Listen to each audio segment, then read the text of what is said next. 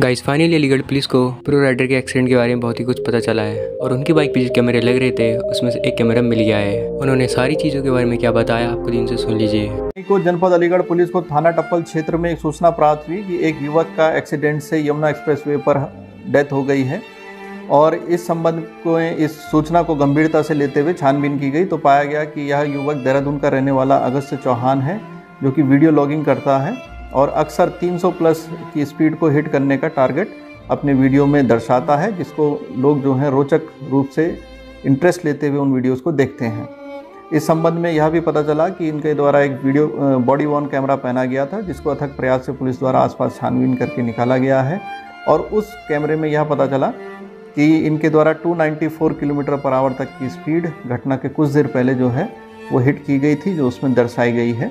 और इस संबंध में अभी भी पुलिस की जाँच आगे जारी है। और इसमें यह भी बता दें रोड सेफ्टी के एंगल से मैं कहना चाहूँगा कि अक्सर युवक इस तरह की स्पीड को रोड पर अपनाते हैं जो कि जोखिम भरा कार्य है। इन्हीं हाईवेज़ पर कई लोग अपने परिवार के साथ, जिनमें महिलाएँ भी होती हैं, वृद्ध भी होते हैं, बच्चे भी होते हैं, निर्धारित गति से उसमें चलते हैं। और उन लोगों को भी इस तरह की जो हरकतें हैं, इससे काफ़ी परेशानी हो